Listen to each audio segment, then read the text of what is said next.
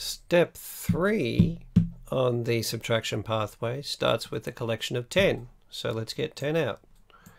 1, 2, 3, 4, 5, 6, 7, 8, 9, 10. 10 on the tens frame.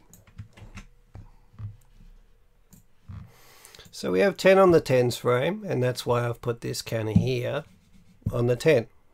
Now it says take away, which is subtract, the light purple spinner, which is this one down here. So I'll give it a spin. Let's see where we end up, hey? Oh, what do you know? It's landed on 7. So, we know that I'll be taking 7 of these away. So, do it, Mr. Hallam.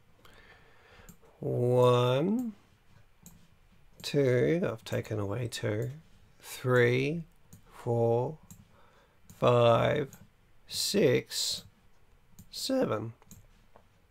Well, I took away seven.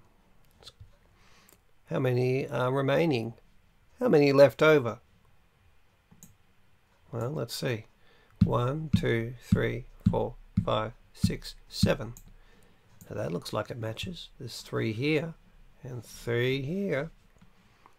What strategy might I have used to help me figure this out? We know that 10, a collection of 10, can be made of a part which is 7 and a part which is 3. These are tens facts. 7 and 3 make 10. I'll just do that here for you for a minute. Yeah, let's see that. 1, 2, 3, 4, 5, 6, 7, 8, 9, 10. Now, if I grab three of them, you can see that if I take away 3 I'm left with the group which is 7 which is the rest of this here. And I'll move those here.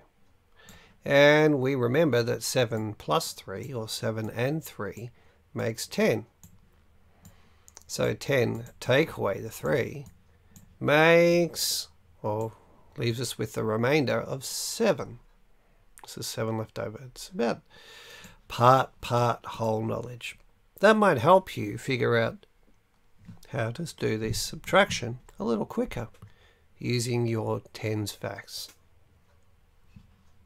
Remember, write down your workings out, talk about what you're doing, and always use materials. Always.